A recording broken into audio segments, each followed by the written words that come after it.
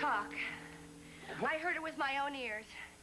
I was after, I mean, she's not talking now, but I heard her before. Right after you left for the airport, I went upstairs and I passed her room and I heard her speak. What did she say? Well, she said something like, I've got you right, I've got Quentin right where I want him. I didn't hear, I, I don't remember anything else. I, I only heard a few words, but I know she can talk. And you heard her the day that I left, but, but why didn't you tell me sooner? Well, I, your, your car wasn't here. I tried to go after you, so I called Gracie to take me to the airport, but by the time we got there, your plane had left. Why didn't you page me at O'Hare? I tried. I tried for an hour. I had you paged, but you never picked up the phone. And then when you tried to call here, the line was busy because she took the phone off the hook. Rebecca did. Now, she hasn't spoken a word since. No, not a word. Ah, I thought I heard you arrive, Mr. McCord. Welcome home. Well, it's good to be home, thank you. Has Nola had the time to tell you? Yes, yes, yes, she has. Well, we tried to contact you several times. Is Rebecca still awake? Yes, I believe she is, but surely wouldn't you like to... No, thank you, Mrs. Renfield. I'll just be a moment. Are you going up to Rebecca's room? Yes. Do you want me to come with you? No, I think that I should see her myself, at least for now.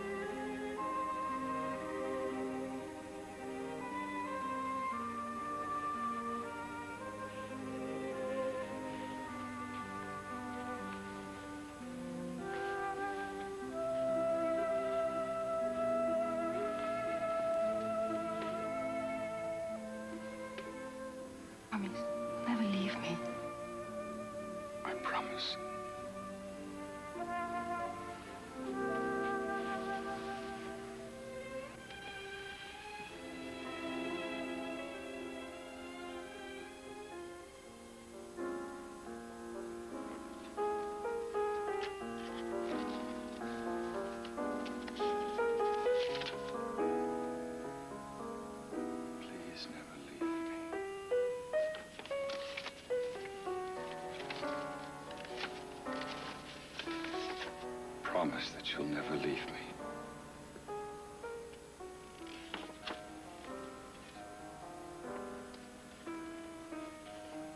It's over, Rebecca. Please let it be over for both of us.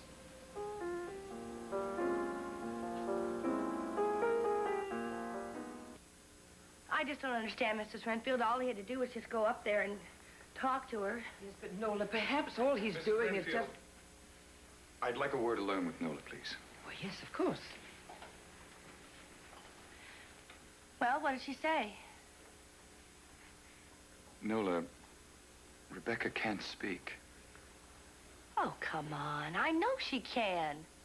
Nola. Rebecca Cartwright can talk. What do you think, I'm lying about this? Of course not. I know you'd never lie to me.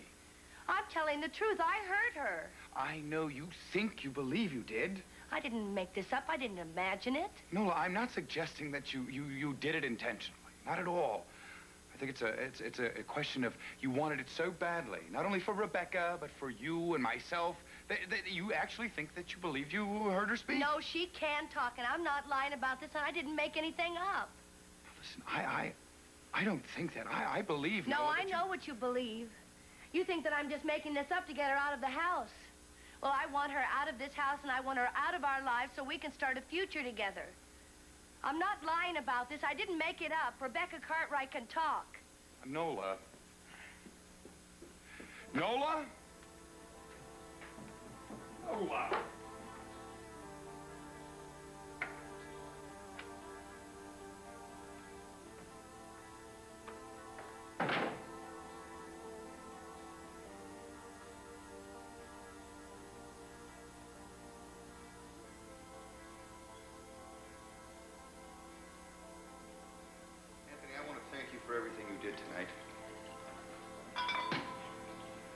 Okay, Mr. McCord. Listen, Anthony, you know, we've been through a lot together. Don't you think you could start calling me Quint?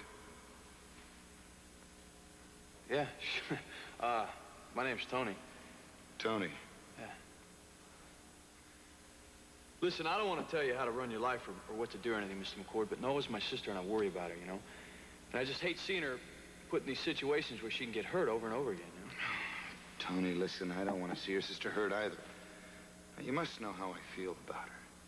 But let me tell you, every time I try to tell her how I feel, or tell her how much she means to me, it always seems to come out wrong. No matter what I do, no matter what I say, I'm always doing the wrong thing. But the only thing I've accomplished is hurting her over and over and over again. And you gotta believe me, Tony, I, I don't mean to do that. No, I know you don't. I don't envy either. Nola's not the easiest woman in the world to get along with. You know, I'm no expert on love, but I do know one thing. Listen, I'd be grateful for any suggestion you could make. Yeah, well, it's about the only thing I know about women. Uh, you gotta love them. And you gotta keep on loving them even when it hurts. Because when you stop loving them, it hurts even more. Women.